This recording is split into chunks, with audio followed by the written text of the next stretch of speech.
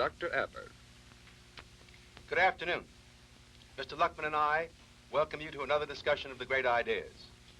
We continue today the discussion of art, and I hope we can concentrate this afternoon on the fine arts. There are many interesting problems connected with the fine arts that I should like to discuss. But first, I would like to return to a point we did not complete last week. Last week, I tried to present to you three basic distinctions in the arts, and I only succeeded in dealing with two. First, the distinction between the cooperative arts and the simply productive arts, an art like farming on the one hand and like shoemaking on the other. And then, a distinction between the useful and the fine arts, art which produce things that serve a purpose or a function, and the fine arts which produce things which are beautiful, uh, whose aim is to delight the persons who behold them, to give pleasure in beholding. Now, there's a qualification on that distinction between the useful and the fine arts I, I want to remind you of as I go on.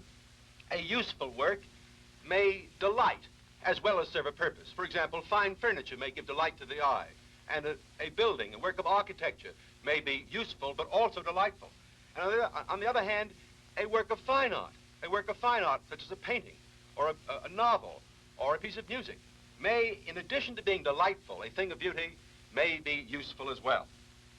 But the point is that if something is merely instructive, instructive, useful in the sense of teaching, uh, then it is not a work of fine art. For example, uh, I think of Euclid's Elements of Geometry. To me, Euclid's Elements of Geometry is a thing of beauty, but it's not primarily so.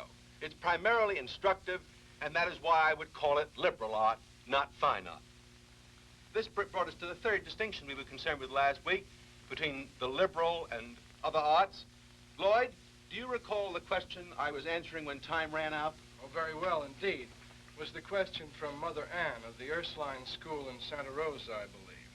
And she was asking you, in terms of the liberal arts, uh, what was the meaning of the term liberal arts as we use it today in colleges, liberal arts colleges, and you pointed out that uh, while we call these colleges liberal arts colleges, uh, they're more teaching useful arts yes, than liberal arts. And then you went on with a distinction between uh, liberal arts and... Well, uh, the distinction between the liberal arts and the servile arts. Let me make that distinction now, Lloyd. Let me say first what the meaning of servile is. Uh, an art is servile if it makes something out of matter, and the thing which is made exists in matter. It is called servile because in the ancient world, where this name originated, only slaves got their hands dirty and calloused. Only slaves worked in matter. Most useful works, most material products of art are, in this sense, servile. They're made in matter and they exist in matter. The meaning of liberal, on the other hand, is free, free from having to deal with matter, made in the mind and exists in the mind. For example, a speech, a great speech, exists in the human mind. A mathematical demonstration is made in the human mind and exists, therefore, there. And that is why these works, a speech or a mathematical demonstration, is called a work of free art, liberal art. And this is what gives the name, Lloyd, to our traditional seven liberal arts, of which I'm only going to name three, grammar, rhetoric, and logic. These arts make works in the human mind. But these arts, grammar, rhetoric, and logic, are useful arts, not fine arts. They are liberal but useful arts, as the art of teaching is. Hence, we have the, the, the interesting question. What about the fine arts? Are the fine arts servile or are they free? Are the fine arts servile or are they free? Now, my answer to this question may seem shocking at first. The answer is some of the fine arts are free and some of the fine arts are servile. For example, literature and music are free arts. Uh, and the, the way we know that they're free is that all that's physical about them are the notations by which the art is conveyed from the mind of the artist, the work of art from the mind of the artist to the mind of the audience. Uh, I'm thinking of literature now and music, for example, without regard to the, the, the auxiliary arts of the performer, the stage actor necessary to produce a play, or the, the orchestra necessary to play a piece of music. For example, here in this book is poetry, is poetry. And its only physical existence is in words. But that is, that, those words are merely there to convey the poem from the mind of the author to the mind of the reader of the poem. It doesn't, the, the poem doesn't exist there on the page. Or take this piece of music. Take a piece of music. These notations, these musical notations are not the music, and you don't have to play the piece of music to have the piece of music, because a person who is competent in reading music can, by reading the notations, actually hear in the inner ear, have the physically unheard, but imaginatively heard music that the composer intended. It is in this sense that arts like poetry and like music are said to be free because they are made in the mind and can exist in the mind. But let's consider fine arts which are not free in this sense. For example, the arts of painting and sculpture. Consider for a moment with me this reproduction of the statue. The original of this statue exists somewhere in the world in one place only, in a museum. If this statue is to be seen by anybody who doesn't go to that museum, we must make actual models of it, reproductions of it. This reproduction of the statue is not like the notes a, on a page of musical score or like the words in a book.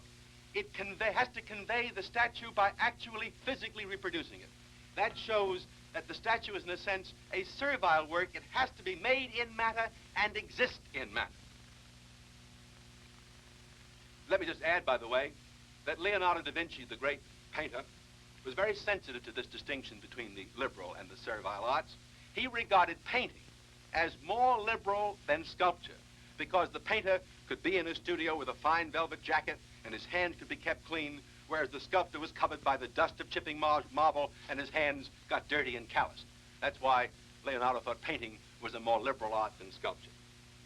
Let me take another art to illustrate the point. Let's take the ballet. Is the ballet free or servile? Well, it's changed. At one time, the ballet necessarily was servile art because the ballet could only be produced on the stage by these actors using their own bodies to produce it, these dances. But now, in recent years, the, the, the notations of choreography have been developed. And these notations enable the dance, the ballet, to exist on paper in symbols just as music exists on paper in symbols, so that a person who could read the choreography could, could actually imaginatively reconstruct the dance without having to go to the theater to see it.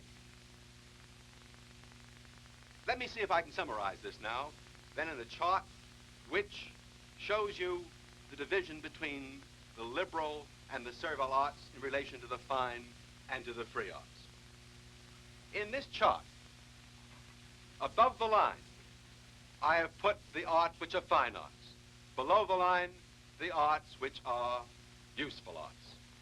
And among the fine arts, literature, all forms of fictional writing, imaginative literature poetry, music, and choreography are typical free arts, whereas typically servile but fine arts are painting, sculpture, and the actually staged ballet. Below the line, I have the useful arts, and pardon the misspelling of grammar, the, the typewriter slipped, as typewriters sometimes do. Here are the three liberal useful arts, free useful arts of grammar, rhetoric, and logic. And here, over here, are three useful but servile arts. Architecture, which is the most liberal of the useful servile art, but nevertheless the building has to exist in matter. It doesn't exist in the architect's plans. And an art like carpentry, and perhaps most servile of all, is the art that, art that most women practice every day of their lives, the art of cosmetics, which they have to get their hands dirty, perhaps a little bit, uh, to perform the art of cosmetology. Now, in that summary, Dr. Yes, Adler, yes, Lloyd. I'm missing something that you were stressing very much last week and you haven't mentioned today. Remember the cooperative arts of farming and medicine yeah. and uh, teaching? Uh, how do they fit in? Well, uh, I should have mentioned them. The cooperative art of farming is a useful art and servile. Actually, the farmer has to deal with the soil and the, and the things of the soil. The cooperative art of teaching is like grammar, rhetoric, and logic, a liberal, useful art. And medicine, partly dealing with the body and partly with the mind or soul, is partly free and partly servile. Let me get back now. Let me get back now to the, the problem that bothers me. Because I'm, it may bother you too. Aren't you bothered? As I, I can't get over being bothered by the fact that the, you have a sense that the fine arts should all of them be free. Uh, if new literature and music and the choreography of the ballet give you free fine arts, why aren't all the others free? Uh, that's a hard question to answer.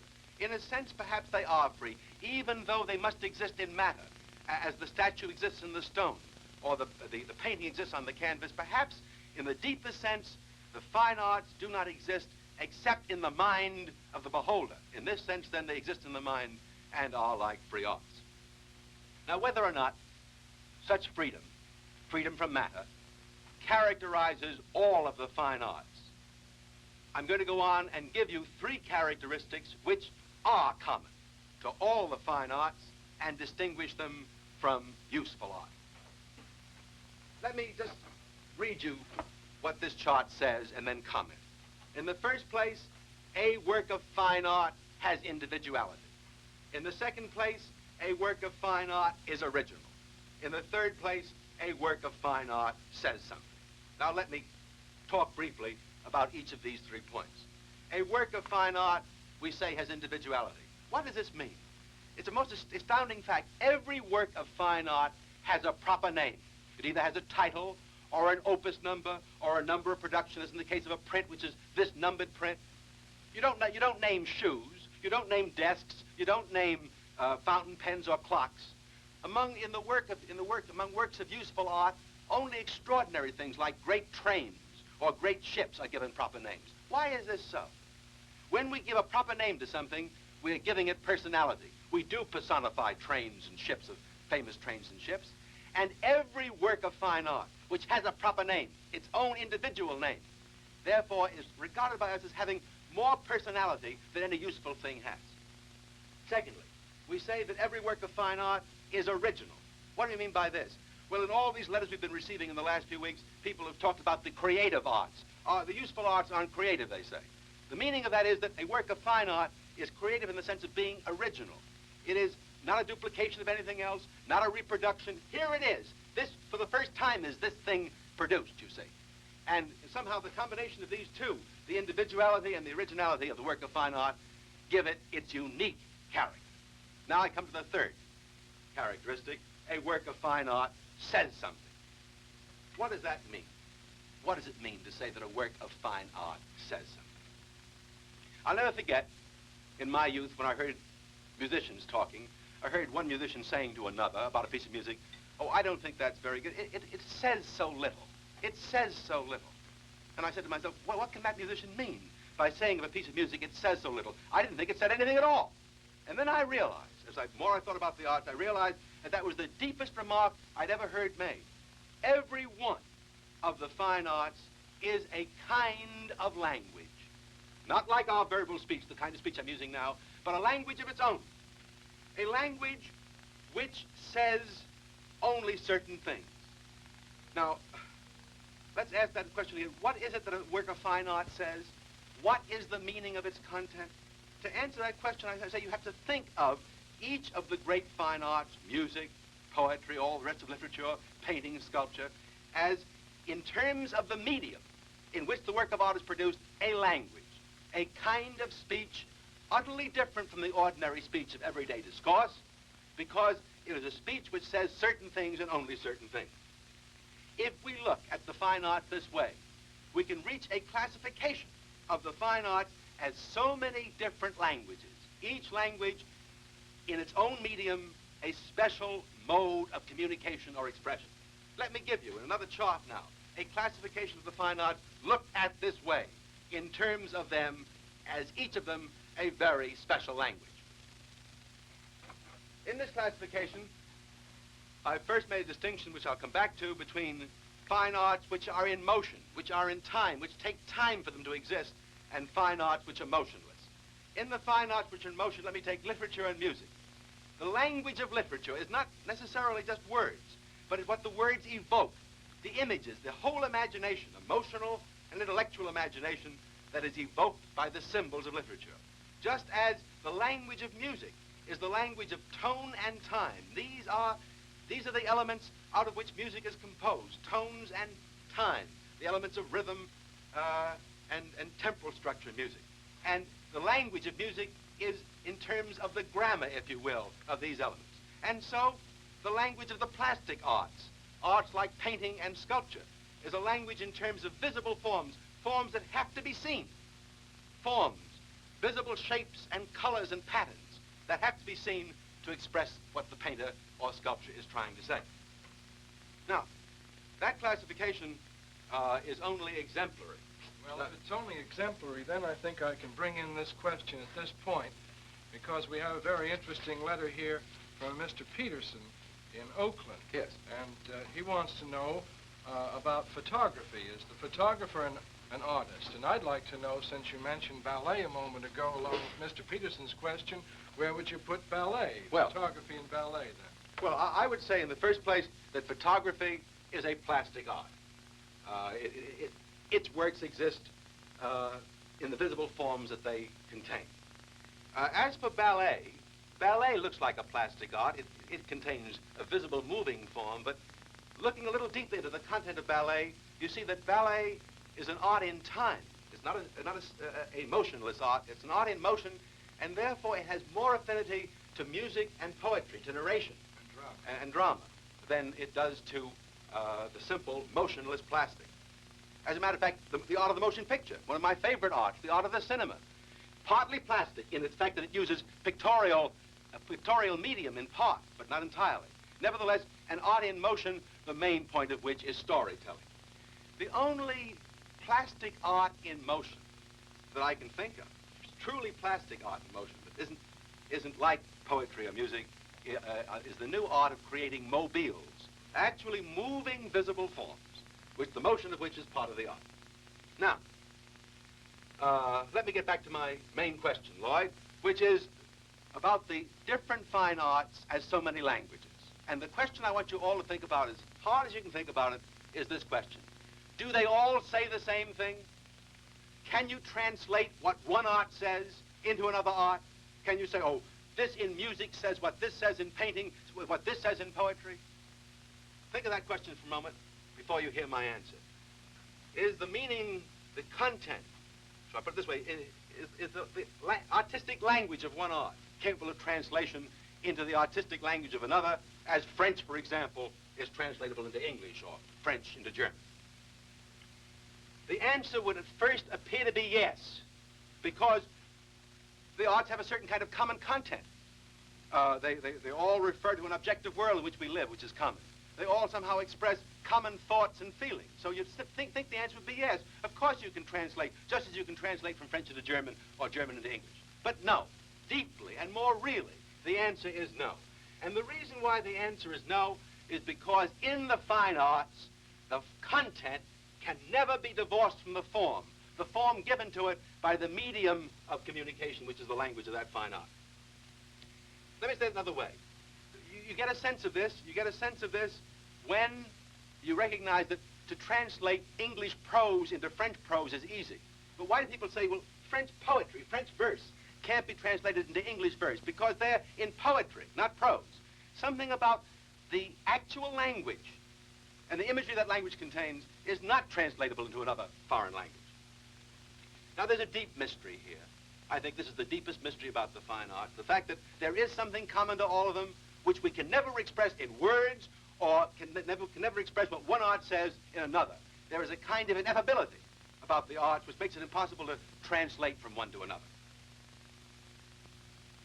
Yet, for most people, and I'm going to use I'm going to use a hard word here, the popular and the almost the vulgar approach to the fine arts is to transgress this mystery, to avoid this mystery, not to be sensitive to this mystery.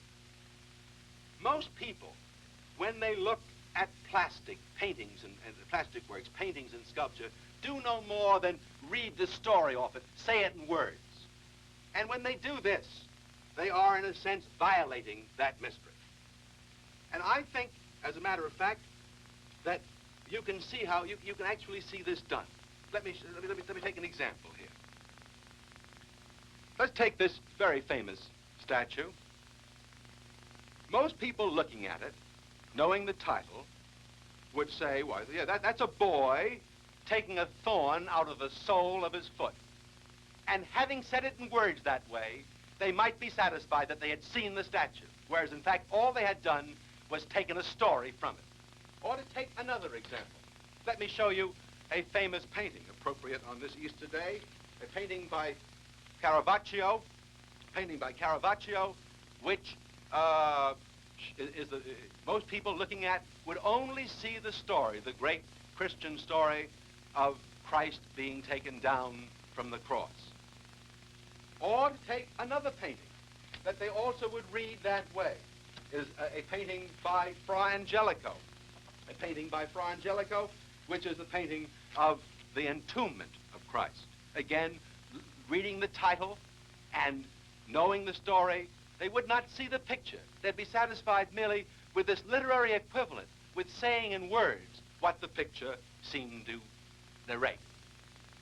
It is precisely this vulgar approach to the fine art, particularly the fine art of painting, translating it into literary terms, that modern, the modernist revolt towards abstraction and surrealism in art was a, a, a, an answer to, a quarrel with, an attempt to overcome.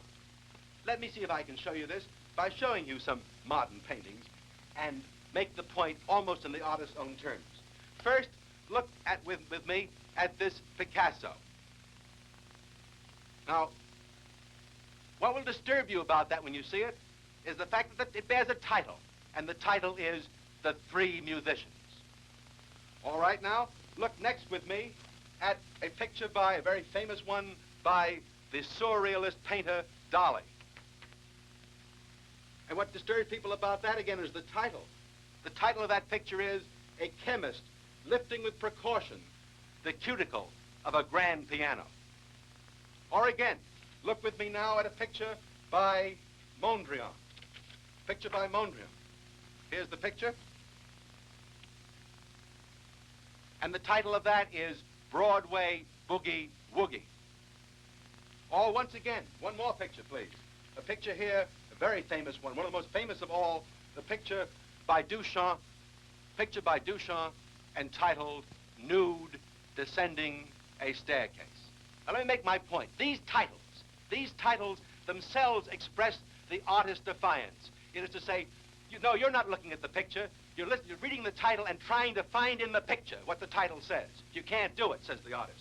And the way to illustrate that most clearly to you is to look at one more picture here, a picture by Kandinsky, which is no different from the others, no different from Broadway Boogie Woogie, but here Kandinsky puts the title on it, which doesn't disturb anybody. The title of this picture is Circles in Circles. And anyone looking at it says, well, yes, circles in circles.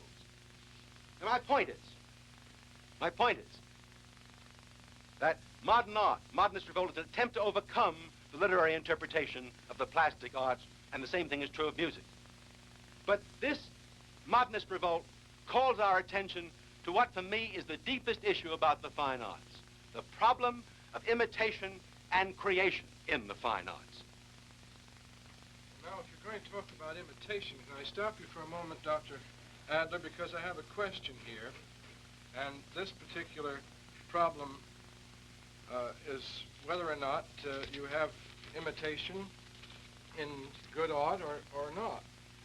Um, I would appreciate some consideration, says this uh, writer, Mr. Cartmel, uh, of the question dealing with the imitative nature of art. I'm wondering what role imitation plays in the creation of a work of art. Mr. Cartmel, imitation and creation supplement each other. They belong together.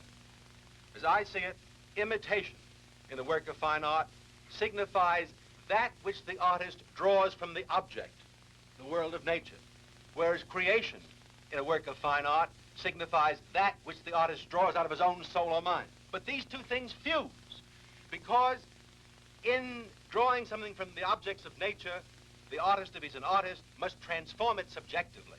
And in drawing something out of his own, own soul or mind, the artist, if he's an artist, must objectify it, put it in the object which is the work of art produced. Hence, artistic imitation is not simply uh, copying, reproducing a mere photographic image. Artistic imitation is creative imitation. And artistic creation is also imitative creation. And the reason for this, not pure creation any more than imitation is mere copying. And the reason for this is that only God is a pure or absolute creator. Man is derivatively a creator, a, an imitative creator. That is why the human artist must borrow from nature. There's a magnificent remark by the great French painter Delacroix, which is that nature is simply a dictionary. Think of that a moment. Nature, for the painter, is simply a dictionary. It's as if, for a writer, the words are there, but he must compose the poem from the words. So nature provides something like, in its visible forms and shapes and colors, the dictionary, the words of painting, but the artist, taking those words, if you will, an analog of words, the elements of this, the plastic speech of painting, composes the picture, or composes the statue. Hence, Mr. Cartmill, there is no conflict, I would say, between uh, creation and imitation in the fine arts. For fine art is both creative and imitative. But there is a deep tension between creation and imitation that produces two opposed tendencies in the fine art.